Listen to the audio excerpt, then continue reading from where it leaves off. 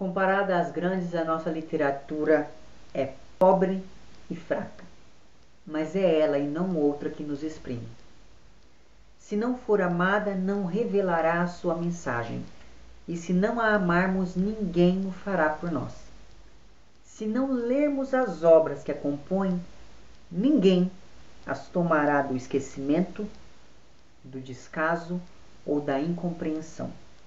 Ninguém além de nós poderá dar vida a essas tentativas, muitas vezes débeis, outras vezes fortes, mas sempre tocantes, em que os homens do passado, no fundo de uma terra inculta e em meio a uma aclimação penosa da cultura europeia, procuraram estilizar para nós, seus descendentes, os sentimentos que experimentaram e as observações que faziam, dos quais se formam as nossas próprias observações e os nossos próprios sentimentos. Isso quem diz é o Antônio Cândido no prefácio da primeira edição do livro Formação da Literatura Brasileira.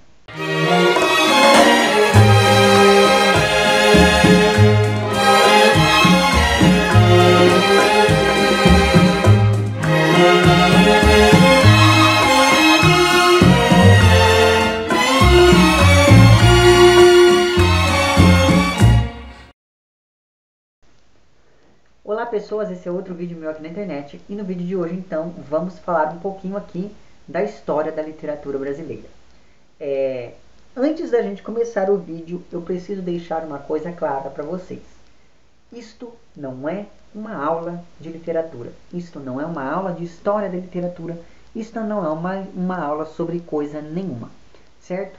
Isso daqui é só, digamos assim, uma conversa é, que tem alguma fundamentação teórica. E a fundamentação teórica principal vai ser aqui o Formação da Literatura Brasileira do mestre Antônio Cândido, certo? Bom, uh, antes da gente entrar no, no, no na questão da literatura brasileira, perceba que o título desse vídeo é um título totalmente provocativo, que é o lá, Literatura Brasileira, né? Então, antes da gente entrar nesse tópico, é interessante a gente entender que o Antônio Cândido vai dividir a nossa literatura e vai dividir a história da nossa literatura em três momentos. O primeiro momento, que é o momento que nós vamos começar a conversar um pouquinho hoje, é o momento das manifestações literárias em solo brasileiro. O segundo momento é o momento da formação da literatura brasileira, que vai começar sobretudo com o arcadismo, mas que vai ali, digamos assim, ganhar força com os românticos, sobretudo com Gonçalves Dias, por exemplo.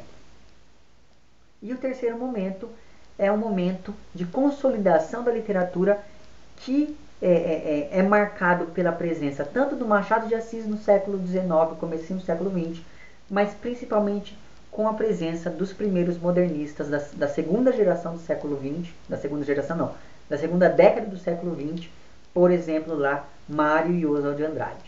Muito bem, então esses são os três momentos é, da nossa história literária, que é uma história extremamente jovem, porque o nosso país é um país extremamente jovem. Mas o fato então é que, antes da gente entrar e pensar um pouquinho na questão da literatura brasileira, é muito interessante a gente pensar um pouquinho nisso que a gente conhece como literatura. Que para o Antônio Cândido, essa, esse conceito de literatura está muito ancorado no conceito de, é, de sistema literário. Né? E o que, que vem a ser um sistema literário? O sistema literário é basicamente algo que vai organizar um conjunto de textos de modo a falar. Isso passa a ser uma literatura. E esse, esse sistema que organiza a literatura de um determinado lugar, ele é baseado sobretudo em três pontos principais. São eles: um grupo de escritores que escreva sobre mesmos pressupostos estéticos, um grupo de leitores aptos a receber essas informações, aptos a receber essas obras escrita por, escritas por esses escritores que trabalham sobre certos pressupostos estéticos comuns e principalmente que essas obras dialoguem com uma certa tradição literária local. Muito bem, então. Esse é o tripé que rege isso que a gente, que o Antônio Cândido chama de, de sistema literário, e o sistema literário é algo muito importante para que a gente entenda o que é a literatura. segundo Antônio Cândido, e eu, claro, se não concordasse com Antônio Cândido, não estaria usando a visão dele aqui, não é mesmo? Então eu concordo muito com essa, com essa instauração desse sistema, que eu acho uma coisa extremamente didática. Ora, acontece que a nossa literatura, ao contrário, por exemplo, de um alemão, de um francês, de um inglês, é, de um russo, até mesmo de um espanhol, a literatura brasileira ela não se basta por si mesma, não é? Se você for pegar, se você for pensar bem, um russo consegue muito bem ficar a vida inteira só lendo romances russos. É, um francês, idem. Um alemão, idem. O mesmo não acontece com o Brasil. Né? Um brasileiro não pode, se um brasileiro quer de fato entrar em um contato um pouco mais aprofundado com a literatura brasileira, ele deve obrigatoriamente olhar para outras literaturas, sobretudo a literatura portuguesa. Só qual que é o problema? O problema é que quando a gente chega em Portugal, a gente enfrenta esse mesmo problema. Né? A literatura portuguesa, apesar de muito rica, ainda assim ela, ela necessita organicamente de várias outras literaturas, sobretudo a literatura francesa, como nós vamos tentar entender em alguns vídeos aí para o futuro. Bom, pensando nisso, então a gente pode entender que a literatura brasileira, ela teoricamente não nasce no Brasil. A literatura brasileira, ela vem exportada de fora via Portugal e chega aqui na nossa realidade. Qual é o problema? O problema é que essa literatura que é regida por certos pressupostos estéticos, por certos pressupostos temáticos, é pensada em um primeiro momento é, enquanto literatura que dialoga com a realidade europeia, não é? Se você for pensar bem, é, a nossa, a nossa, o que a gente entende por literatura muitas vezes passa por esse diálogo com uma tradição hegemônica. E quando a gente fala de tradição hegemônica, a gente pensa automaticamente em tradições europeias. Qual é o problema? O problema é que a realidade europeia é uma coisa extremamente diferente da realidade brasileira. Então nós temos um primeiro problema que é entender como que essa que essa é, é, literatura que é pensada nos moldes europeus vai chegar aqui no Brasil e como que a partir disso as pessoas daqui vão começar a entender o que é, afinal de contas, literatura. Então, é, é, a especificidade da literatura brasileira, um primeiro momento, ela passa por esse processo de modificação da sociedade brasileira. Por quê? Porque, teoricamente, a literatura chegou aqui antes de haver uma sociedade organizada segundo os padrões europeus. Vamos lembrar aqui que o achamento do Brasil foi uma coisa nem um pouco amistosa, em que, é, infelizmente, várias culturas que já existiam aqui em solo brasileiro foram é, é, é dizimadas, foram assim, é, enfim, né? Todos nós conhecemos a história, todos nós sabemos o horror que deve ter sido isso. Mas o fato então é que a nossa literatura, ela chega no Brasil, teoricamente a nossa literatura, ela chega no Brasil antes que aqui existam condições para se formar esse sistema literário, como nós vamos, nós vamos discutir aqui nesse vídeo. Então esse primeiro vídeo eu pensei nele sobretudo para poder discutir até que ponto a gente pode considerar alguns textos que são considerados é, ah, fundadores da literatura brasileira, até que ponto a gente pode olhar para esses textos e entender eles como literatura brasileira de fato e não como literatura europeia. Mas enfim, literatura portuguesa, enfim. Então, no primeiro momento, a gente pode pensar não em uma literatura brasileira, mas em manifestações literárias ocorridas em solo brasileiro. Sobretudo porque porque a nossa literatura ela não nasce aqui. A nossa literatura ela tem que esperar Ora, a literatura não é uma entidade que, que, que sabe assim, que tem vida própria. Não. Para a gente entender literatura, é muito importante a gente entender a sociedade de um determinado lugar. Para você entender por que, que os russos escrevem de um jeito, é fundamental que você entenda o que, é que acontece na Rússia, que não acontece lá na Espanha, de modo a criar essa especificidade que a literatura russa tem em detrimento da literatura espanhola. Muito bem, então, o que, que acontece? Acontece que chega, chegam aqui os portugueses e o que eles encontram? Nada. Ou melhor dizendo, o que eles encontram?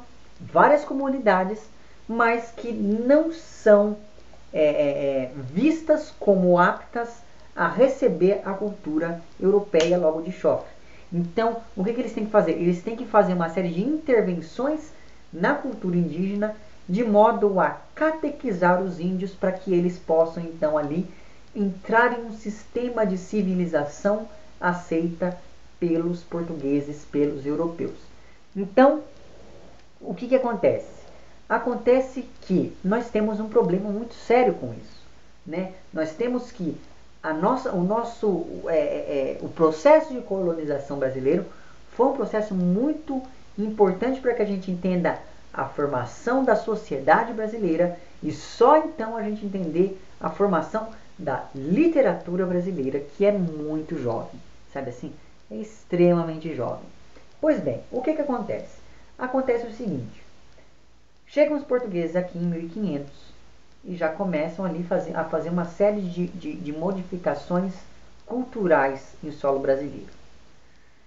Chegam em 1500, que é ali o, o, o, tempo em que Portugal estava no auge. E esse auge vai chegar ali ao seu ápice em 1580, ou melhor dizendo, vai começar a declinar em 1580 com simbolicamente a morte de Camões, mas politicamente falando, com o desaparecimento do, do Dom Sebastião na Batalha de Alcácer Quibir, lá em 1580. O que, que acontece? Acontece que o Dom Sebastião era muito jovem. Eu vou falar disso mais detalhadamente em outro vídeo, mas podemos adiantar aqui. Dom Sebastião era muito jovem, então ele, como não tinha herdeiros, teve uma certa complicação ali. E o herdeiro mais próximo seria um sujeito da Espanha.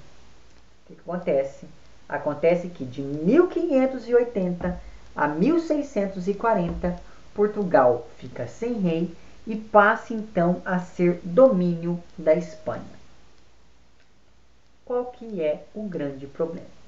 O grande problema é que não é segredo para ninguém, mas a Península Ibérica não é famosa por ser o centro cultural da Europa, né? O centro cultural da Europa sempre foi França e Alemanha. Então, o que, que acontece?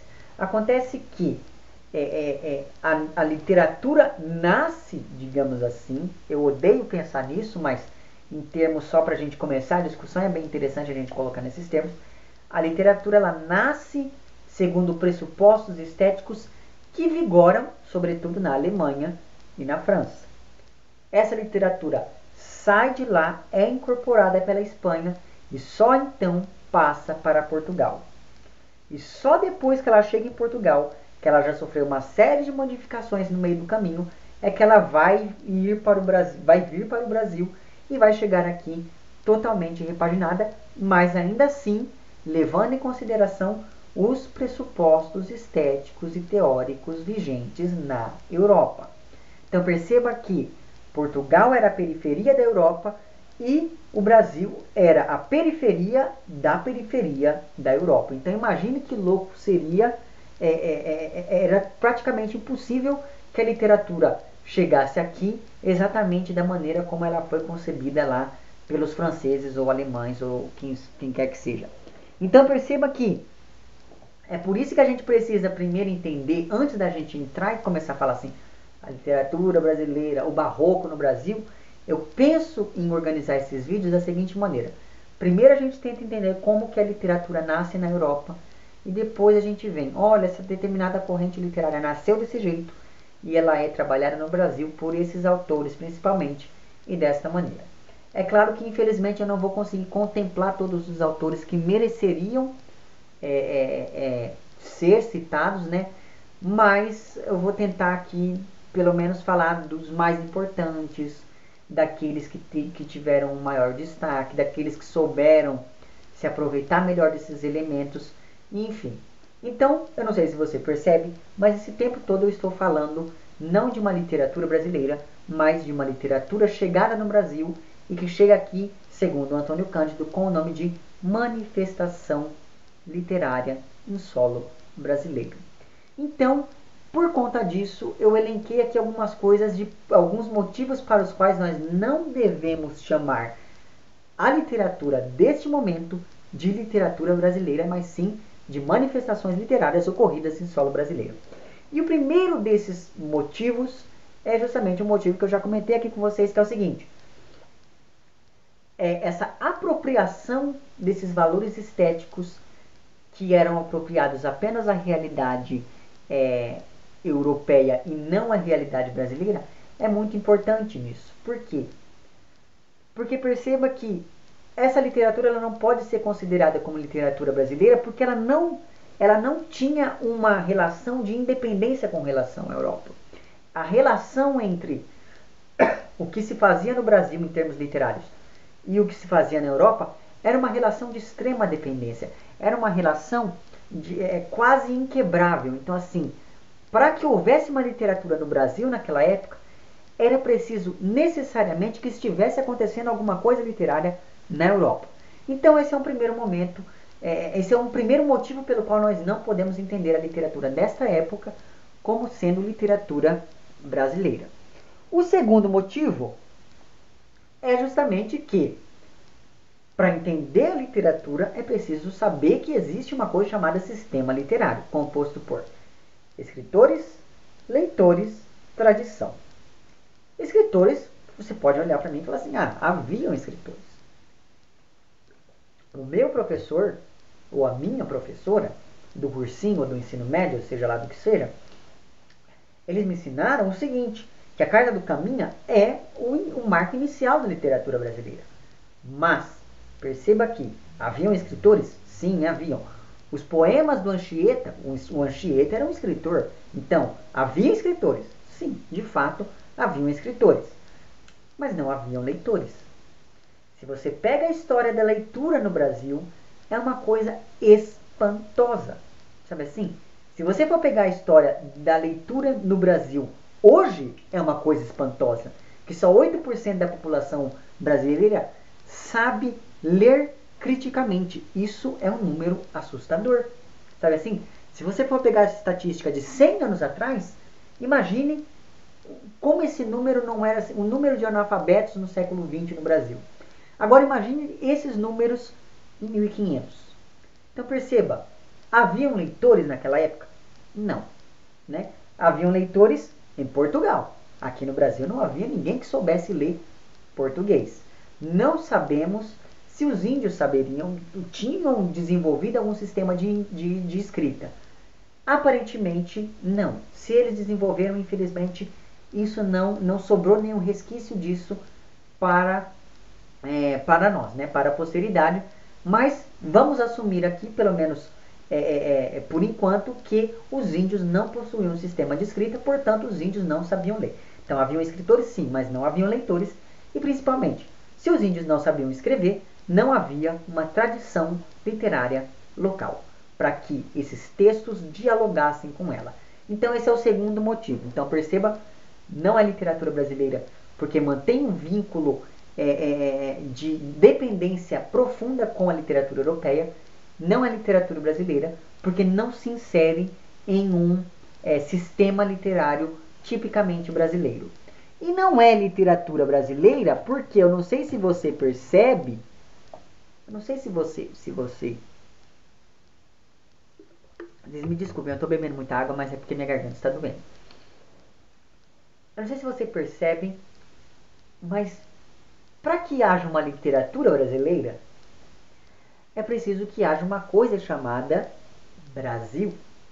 Né? É para que haja uma literatura russa, é preciso que exista a Rússia. Para que haja uma literatura alemã, é preciso que haja a Alemanha. Se não houvesse Alemanha, não haveria literatura alemã. Se não houvesse Rússia, não haveria literatura russa. E se não houver Brasil, não há literatura brasileira.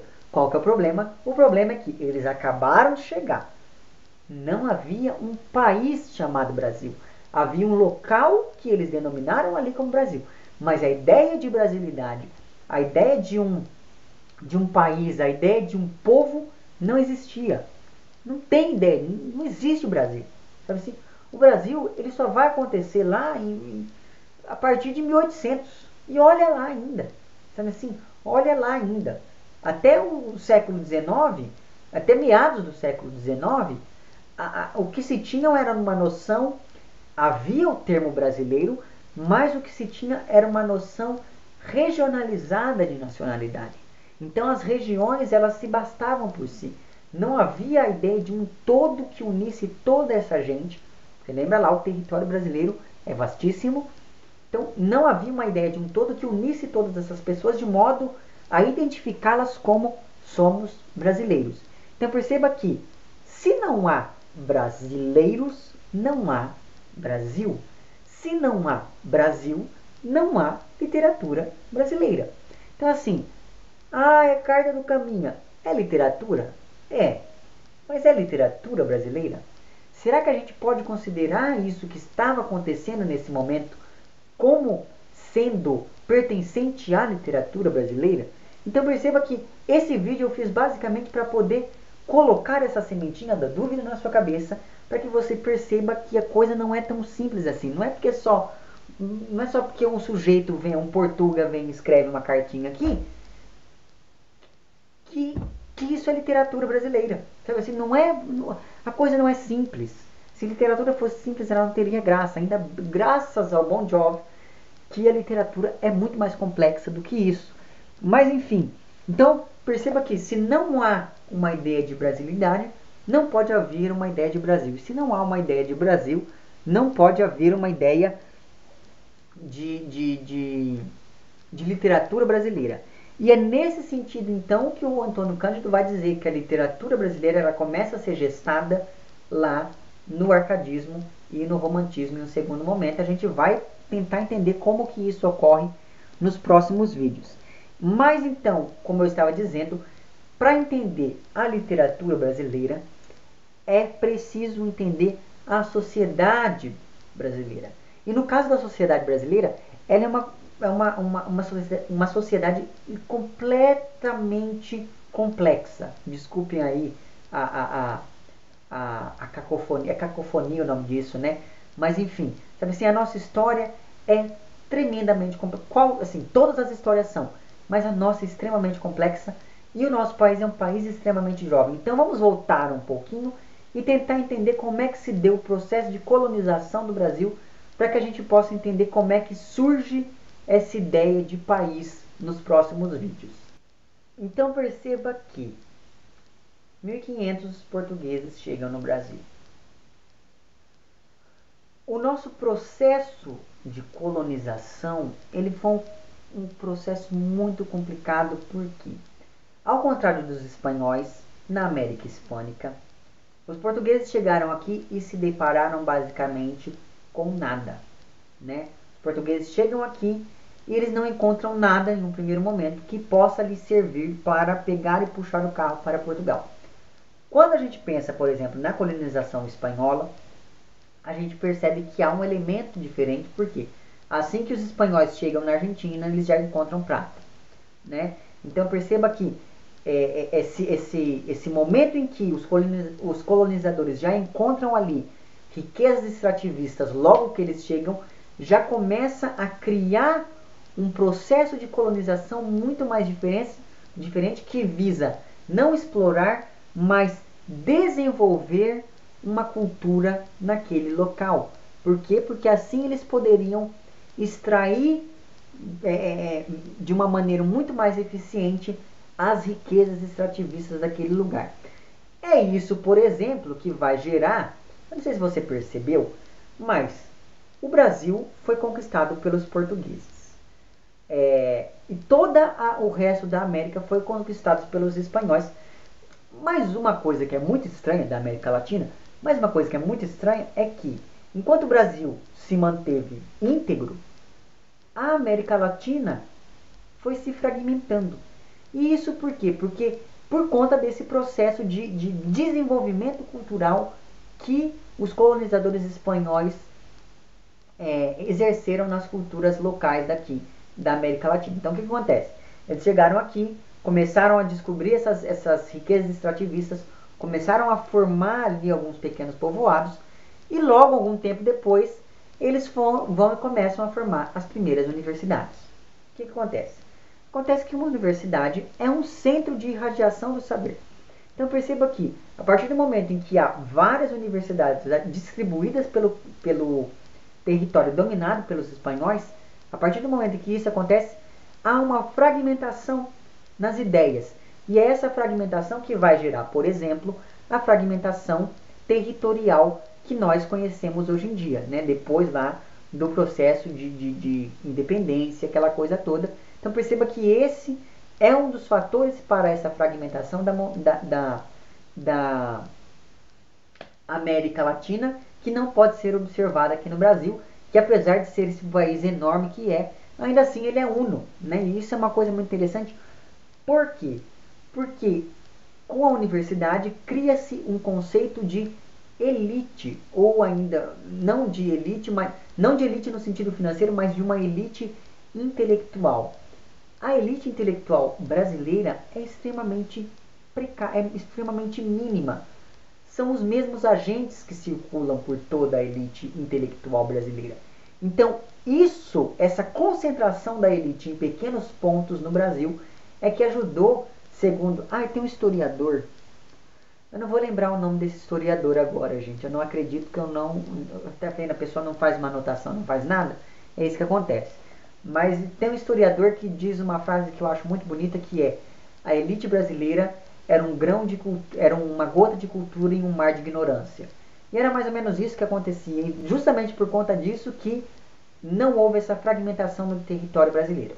Mas por que, eu estou falando disso? Assim, o que, que acontece? Acontece então que o nosso nós não tivemos tanta sorte quanto os habitantes da, é, colonizados pelos, pelos espanhóis. E isso não significa que eles foram muito sortudos. Significa que nós fomos muito azarados. Então perceba, os portugueses chegaram aqui, não encontraram essas riquezas extrativistas logo de cara e precisaram então desenvolver um projeto colonial de ocupação do espaço, sobretudo no, no litoral nos primeiros momentos.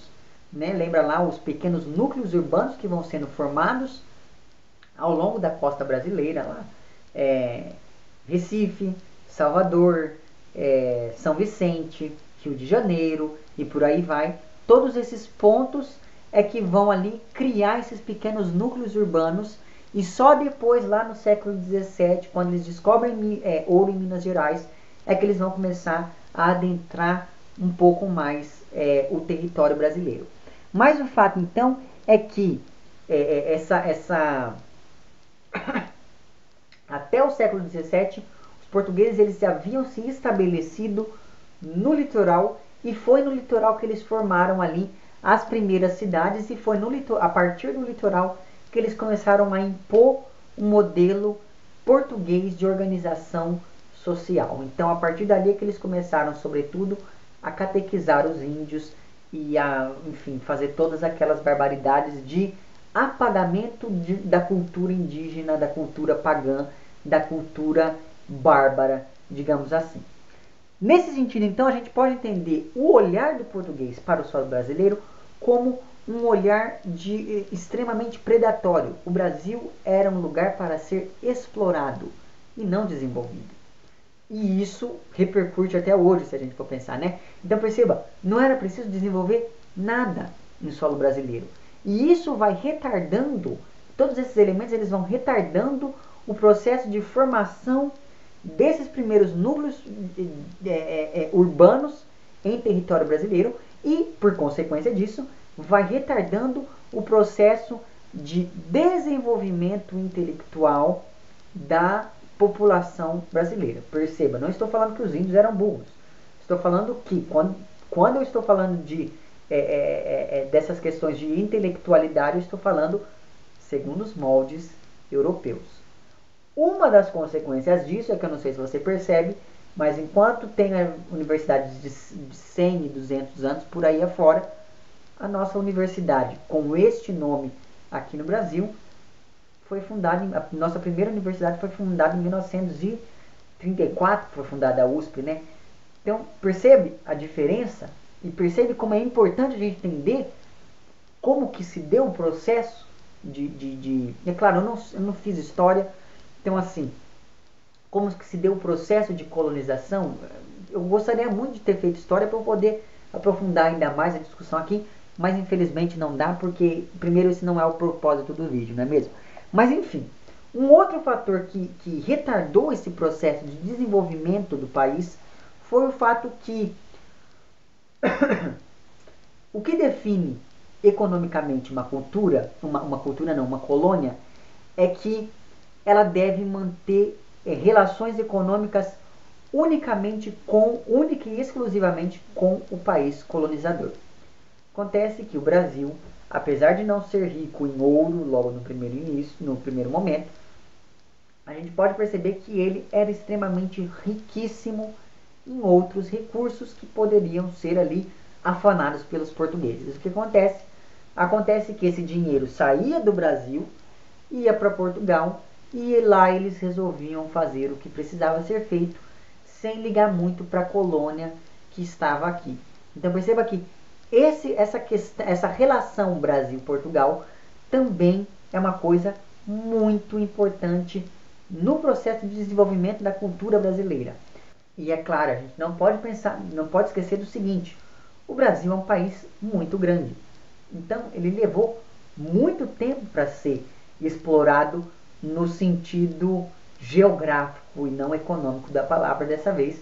Então perceba que até os portugueses conseguirem adentrar todo o território brasileiro, isso demorou muito tempo, sobretudo lá por conta do Tratado de Tordesilhas e aquela coisa toda. Mas também porque o nosso país era muito grande. Era não, é muito grande. Então perceba que o, o, o, a colonização foi muito lenta, o sistema de organização dessa colonização, dessa colonização foi muito lento e tudo isso por quê?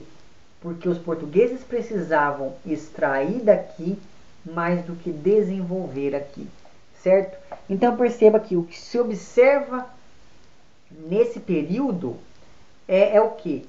É um brutal, é um, um selvagem processo de imposição cultura, da cultura desse colonizador e, ao mesmo tempo em que essa imposição é feita, há também a destruição e a desvalorização da cultura indígena e, posteriormente, da cultura africana. Então, é, é, é, perceba que os portugueses chegaram aqui e começaram ali a catequizar os índios. Então, perceba que esse movimento de catequização é uma coisa extremamente absurda, é uma coisa. Isso é que é uma barbaridade. Isso é que é uma coisa de gente bárbara. Por quê?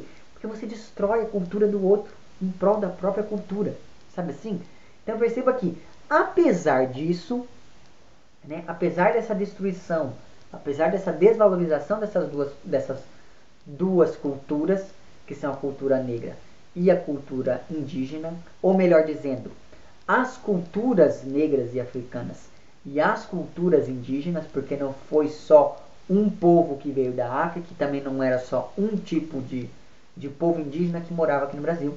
Então, mais correto é falar mesmo nessas, nessa pluriculturalidade que, que foi sendo gestada aqui no Brasil desde o início. Mas, enfim, apesar disso, houve uma miscigenação entre essas culturas e talvez esse seja um dos traços mais importantes para a gente poder entender não só a nossa sociedade, mas principalmente a nossa cultura. Pegue lá, por exemplo, ai, eu nunca pensei que eu fosse citar esse livro em algum lugar. Pegue lá, por exemplo, o Macunaíma, do Mário de Andrade. Então perceba que a imagem do Macunaíma é uma, uma imagem muito interessante, porque ele é um índio, mas ele é negro e tem um determinado momento do livro em que ele fica branco. Então perceba que essa questão é uma questão extremamente importante para que a gente possa entender o retrato dessa miscigenação que ocorre na nossa cultura e na nossa sociedade e que vai, ser, e que vai sendo trabalhada ao longo da história da nossa literatura. É claro que ela só vai ganhar uma força maior, sobretudo, com os modernistas, como é o caso, por exemplo, do Mário de Andrade. Mas em termos literários, a gente pode perceber o seguinte: quando o Brasil é descoberto, quando o Brasil é colonizado, a literatura brasileira estava no auge. Camões estava lá publicando os Lusíadas, e tal, classicismo com menos solto, etc. Como que a gente pode pensar uma literatura tão complexa como essa, chegando aqui onde só havia arvorezinha, índiozinho, florzinha, matinho, bichinho. Então, percebe? Essa é, é a complexidade. É por isso que a gente tem que olhar e desconfiar quando a pessoa olha e fala assim, a carta do caminho é literatura brasileira. Ou então, é, os, os, sonetinhos lá, dos poeminhas lá do Anchieta são literatura brasileira. Sempre desconfie quando alguém falar isso, porque, né, além daqueles três motivos que eu dei antes, ainda tem essa questão. Como uma literatura que é extremamente complexa vai chegar aqui e já vai automaticamente virar literatura brasileira? Não, a coisa não funciona desse jeito. Então perceba que, apesar dessa, dessa, dessa complexificação, apesar de não é essa palavra que eu quero, deixe-me pensar. Apesar de ser complexa, a gente pode dividir a literatura é, dessa época como uma literatura que buscava basicamente duas coisas. Por um lado, nós tínhamos uma literatura que buscava retratar e, e, e entender o povo dessa colônia e o espaço a ser colonizado, sempre da perspectiva do colonizador. E por outro lado, nós tínhamos essa literatura com este ca caráter é, é, catequizador, sobretudo com a figura lá, por exemplo, dos jesuítas. Os jesuítas eles eram sujeitos extremamente inteligentes é, é, e eram assim é, linguistas, digamos assim, muito natos, porque eles conseguiam estudar rapidamente os mecanismos de uma língua. Então eles chegavam em um lugar, escutavam aquilo, começavam a estudar a língua falada naquele lugar, dominavam essa língua para que houvesse primeiros contatos. E depois que esses primeiros contatos eram estabelecidos, eles então começavam, a partir da própria língua, a destruir a cultura do outro. Então eles não chegavam aqui e começavam a falar português. Não. Sabe assim? Pegue. Ai, tem um livro muito bom. Eu esqueci o nome do livro. Eu vou procurar o nome desse livro, vou deixar lá embaixo. E assim, vou parar o vídeo agora para falar. Se você faz letras, leia este livro, cujo nome vai estar lá embaixo. Se você faz linguística, leia este livro. Se você faz medicina, leia este livro. Se você não faz nada, leia este livro. Leia esse livro que eu vou deixar lá embaixo, que agora, meu Deus do céu, que pecado. Eu esqueci o nome do livro. Mas enfim, é um livro muito bom que fala da história do português aqui no Brasil. E nesse livro a gente percebe que não foi uma coisa simples. Eles não chegaram aquele simplesmente, ah, vamos falar em português. E daí todo mundo começou a falar em português, em harmonia e etc. Não, a coisa não foi assim. Pessoas morreram por não falar português. Sabe assim? Então, assim, é muito complicado você entender esse processo, mas a gente pode simplificar dizendo basicamente que eles faziam o quê? Os jesuítas dominavam a, a língua e a partir dos elementos da própria língua eles iam inserindo elementos da cultura portuguesa ou da cultura, enfim, do colonizador.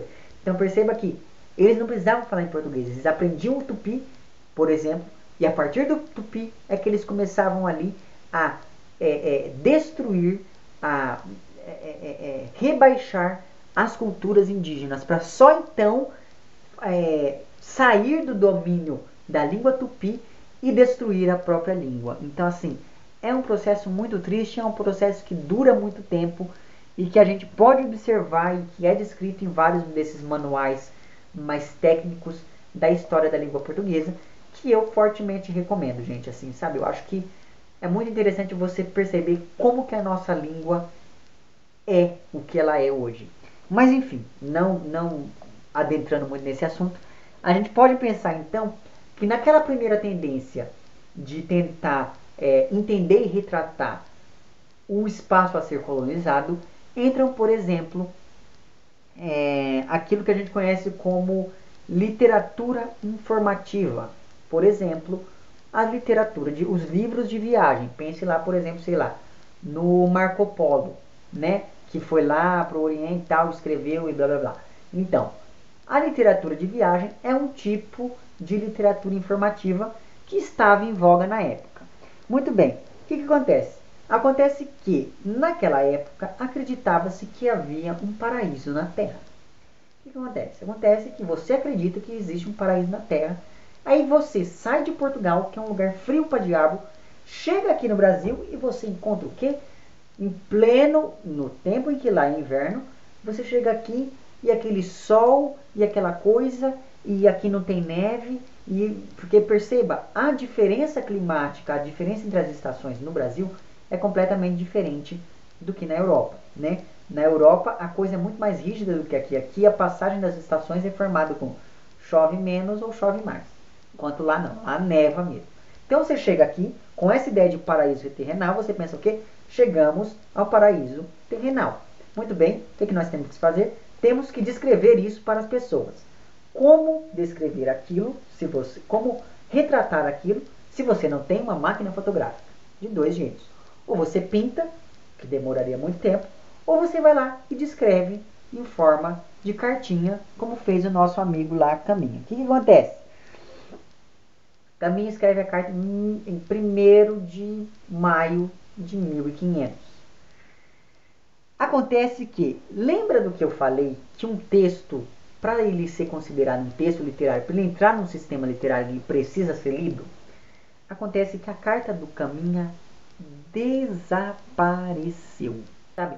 A Carta do Caminho ela desapareceu da história, ela só foi aparecer lá em 1800 e eu sei essa data, 1812, quando um sujeito, um padre chamado Aires de Cabral, ele estava fazendo um Aires de Cabral, Aires de Casal.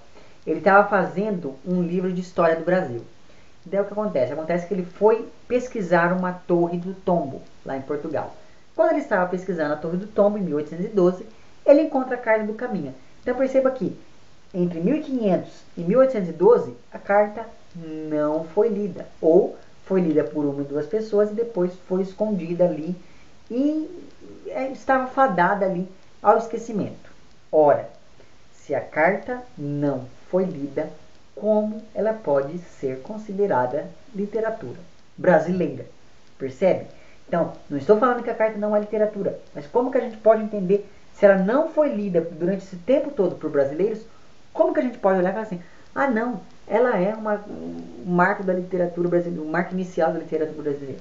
Não! E detalhe técnico: ela foi descoberta lá pelo, pelo Ares de Casal em 1812 mas ela só foi publicada em 1817 em um livro que o Ares de Casal escreveu, chamado A Coreografia do Brasil. Eu adoro o título desse livro. Então, percebo que só em 1817 é que essa carta veio ao público e só então, quando ela é lançada junto com esse livro, A Coreografia do Brasil, é que ela passa a entrar ali, a ser inserida em um, em um cânone brasileiro. Então perceba que textos em que o, o, o tema era a colônia, a função primordial desses textos, basicamente, era construir uma imagem da terra e da gente brasileira para os portugueses. Então, eles não visavam retratar a nossa gente pura e simplesmente para retratar, mas sim para mostrar essa, essas pessoas, para mostrar essa realidade da colônia para os portugueses. Mas então perceba que é justamente por isso que a gente não pode chamar isso de literatura brasileira, porque não existe a ideia de país. Existe a ideia de lugar. Todos esses livros, seja lá a, primeira história do Brasil, lá do, do Vicente Salvador, todos os livros publicados sobre o Brasil até então nem eram publicados no Brasil. Perceba, a imprensa ela só vai chegar aqui em 1808 quando Dom João VI vem para cá.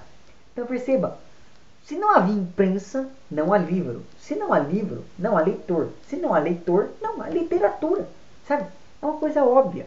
Mas que as pessoas parece que não. É, é, para elas simplificarem a coisa, é mais fácil você falar: ah, não, é porque o Caminha foi lá e escreveu.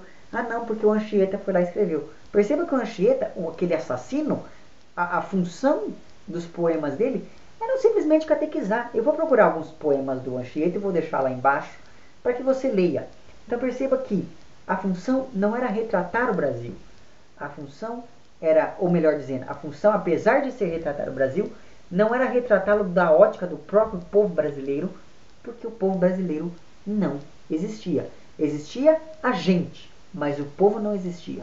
A, de, a, a noção de povo é uma noção extremamente complexa. Perceba, o povo judeu ele não tem um lugar geograficamente estabelecido, mas ainda assim ele é um povo. Eles têm uma ideia de unidade, eles têm uma ideia de um passado comum. Isso não existia aqui por enquanto. Sabe, isso só foi sendo criado ao longo da história do país e isso só foi consolidado lá na segunda metade do século XIX. Século XIX, gente, é aqui na esquina, sabe assim? Não faz tanto tempo assim que o Brasil passou a ser de fato o Brasil. Então, assim, é muito complicado a gente, a gente tentar entender como que se dá o processo de construção da literatura brasileira. Mas geralmente as pessoas dividem esse processo em algumas escolas, são elas o quinhentismo, o barroco é, e o arcadismo, e depois o romantismo, realismo, naturalismo, modernismo, blá blá blá. Então, essas três, esses três primeiros períodos, essas três primeiras escolas, nós vamos classificar aqui como período clássico. Então, quinhentismo, barroco e arcadismo, a gente vai colocar eles todos aqui na mesma caixinha, apesar de que eu vou ter vídeos separados para eles. Por quê? Porque esses, esses três movimentos eles têm os mesmos pressupostos estéticos. Todos dialogam com a estética da literatura clássica. O que vai mudar é como cada momento, cada escola literária vai trabalhar do ponto de vista temático determinados problemas gerados por, determinado, por determinados momentos históricos completamente diferentes. Então, a partir dos próximos vídeos, a gente vai tentar entender como que funcionam esses sistemas literários e como que eles vão se encaixar na realidade brasileira. Então, o que fica desse vídeo é não há literatura brasileira antes que haja uma ideia de Brasil, certo? Então perceba que esse vídeo ele foi só um vídeo assim de introdução ao projeto, digamos assim, e mais um vídeo meio que provocador mesmo. Então diga lá embaixo nos comentários se você aprendeu, eu também aprendi disso, dessa forma, eu só fui ter essa outra visão depois que eu comecei ali o Antônio Cândido. Então, se você teve aí essa, esse, esse ensino também que fala lá do caminho e tal, diga lá nos comentários também, vamos compartilhar as nossas experiências, não é mesmo? E é isso então. Se você gostou do vídeo, não esqueça de curtir e de compartilhar. Caso não tenha gostado, não esqueça de dizer lá embaixo por que não gostou. Se você está inscrito no meu canal, muito obrigado pela sua inscrição. E caso não esteja inscrito, se inscreva também lá embaixo. É isso então. Um abraço para vocês todos e até o próximo vídeo. Tchau.